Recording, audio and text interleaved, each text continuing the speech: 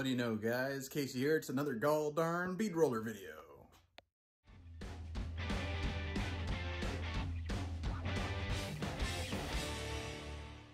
All right, guys. So before you change the channel, aside from the reinforcements that are necessary with one of these uh, flat plate style bead rollers, I think this is probably the best modification that you can make to this thing.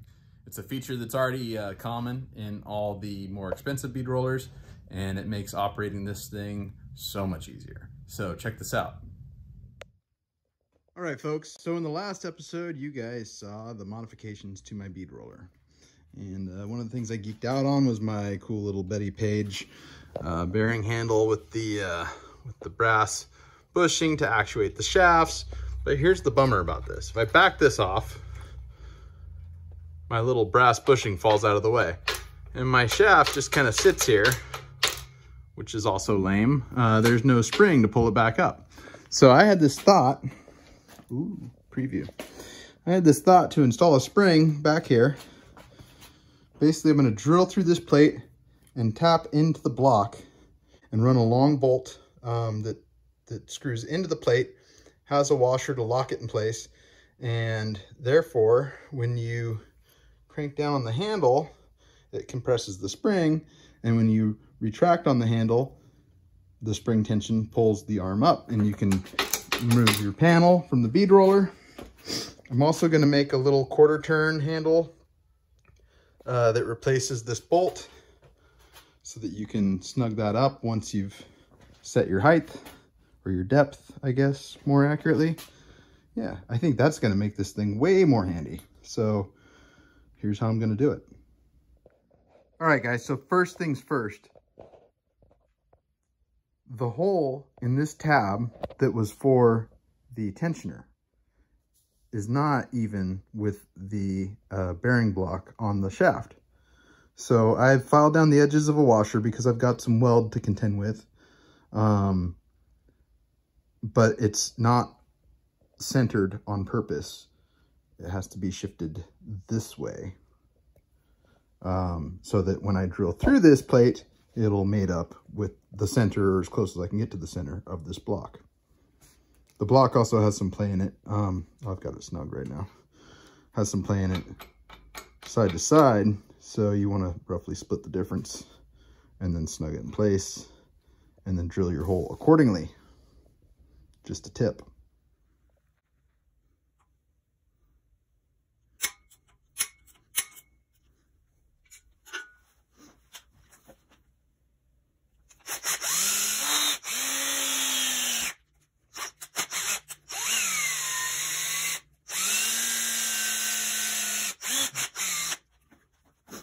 So I purposely went through and touched the top of the block. So I have a mark in the block where I'm going to drill and tap my hole for that.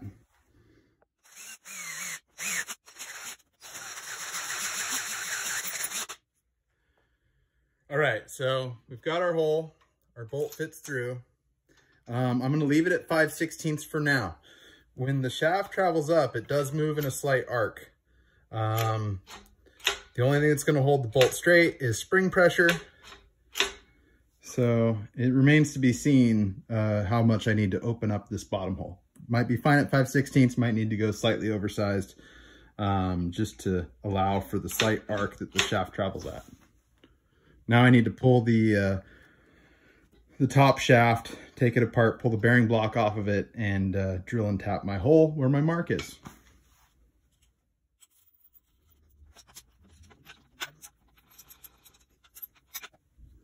As you can see, there's my mark from the drill passing through. So that's where I will center my uh, drilled hole that I will tap out.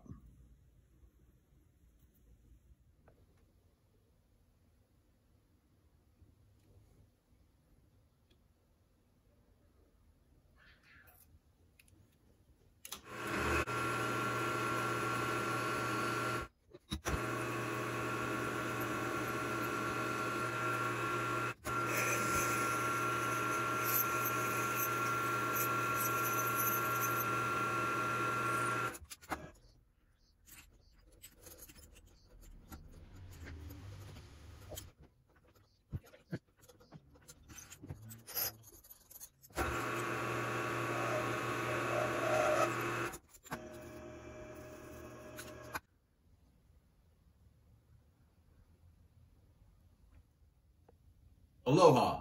This is a segment of my videos that I like to call What's Casey Drinking? And tonight I'm not drinking beer. What is this beautiful concoction?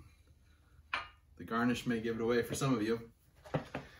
This is a Mai Tai, the Trader Vic's 1944 recipe. Um, it is delicious. Now, there is some debate as to who originated the Mai Tai. Um, some people say Donn Beach, some people say Vic Bergeron. I like the, the Vic Bergeron of Trader Vic's fame. I like his story. I think he's probably more accurate. Plus the Don's Mai Tai is kind of, it's kind of weird. It's like the airport Mai Tai that you get or the hotel bar Mai Tai. This is the real deal. Two types of rum, a little bit of triple sec, orgeat, which is an almond syrup, and a little bit of a sweetener. You can do rock sugar, agave nectar, uh, cane sugar if you can find it. It is delicious. So cheers.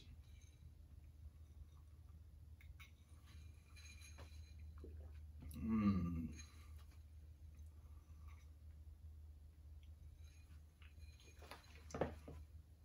I'll put a link to the recipe.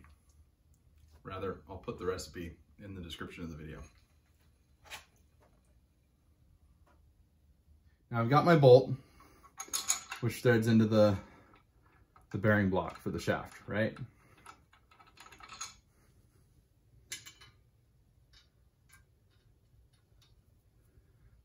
Also got a washer, Harden grade 8. Um, I actually started with a quarter inch washer and I opened it up to be a very snug fit on the 5 16 bolt.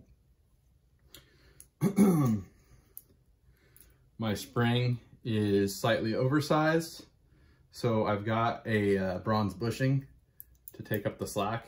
You don't need this level of uh, exact um, fit, but just how I like to try to do things. So, bolt, bushing, spring, got my special washer on the bottom. You gotta start the nut.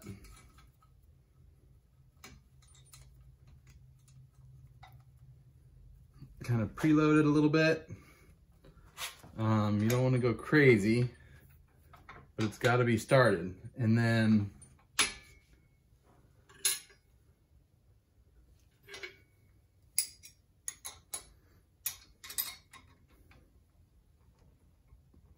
All right. Then you get a lock washer in place. Slide the bearing block up.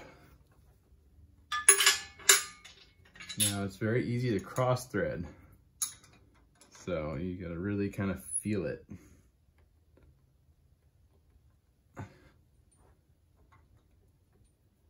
And we're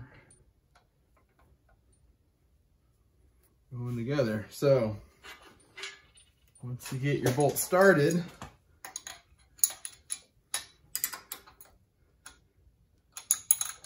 then you can back the nut off.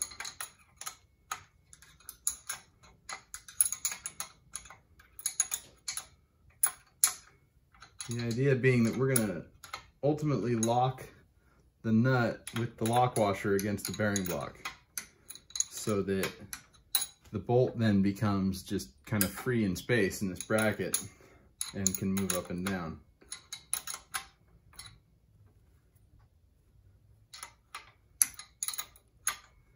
As we approach the end of the threads on this nut, however, we're to need to put our um, preload arm in place.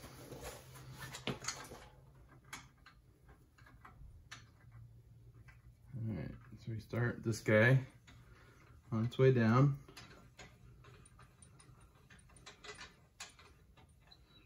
Okay.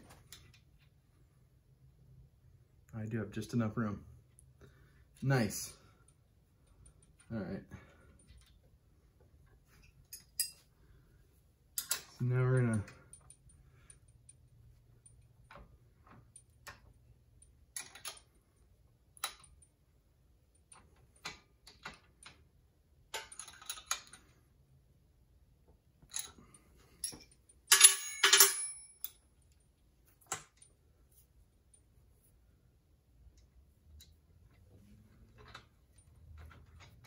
All right.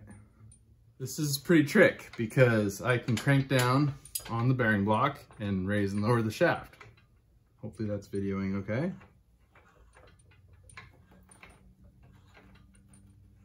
I still have a little bit of interference between my bolt and the arm. I can take care of that though.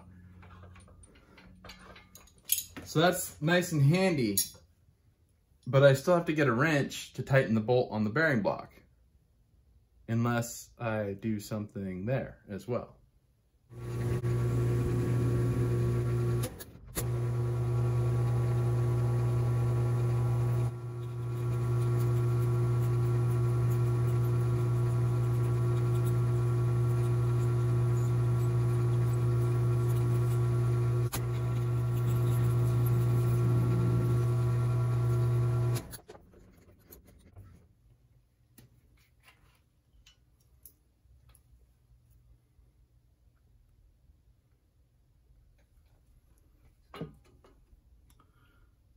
Just a dab will do ya.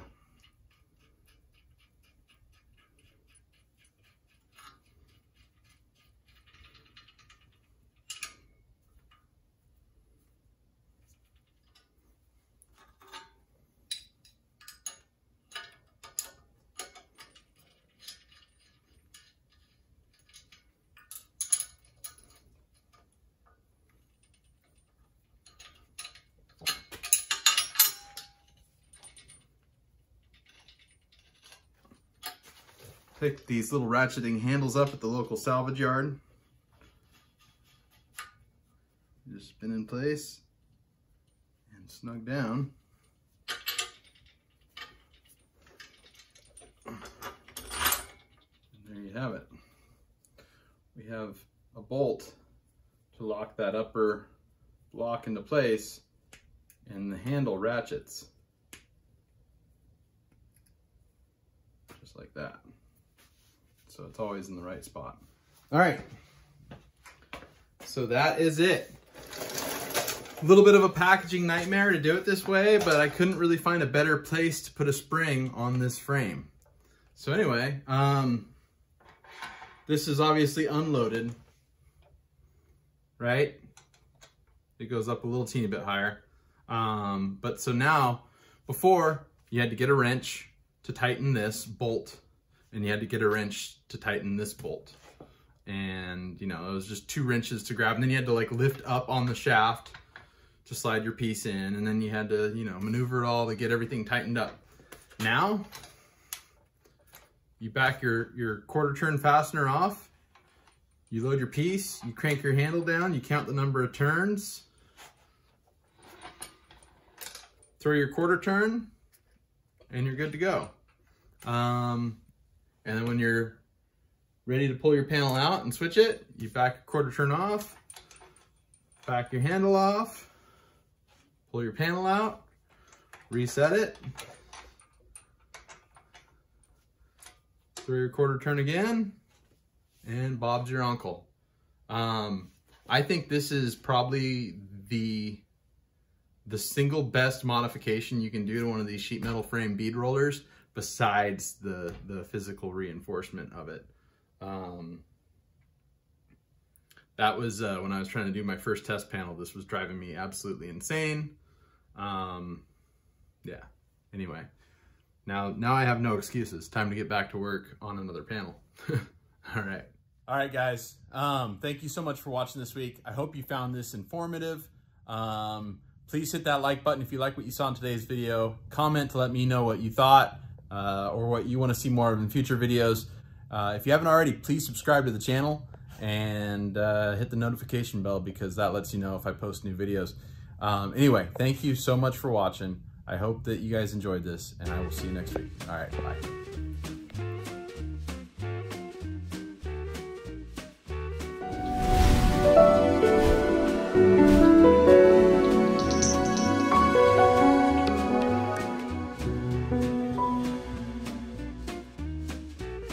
Microphone check. One, two, three, four. Microphone, microphone, microphone.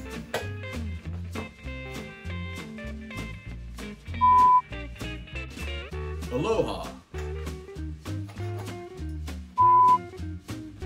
Aloha. This is a segment of my videos that I like to call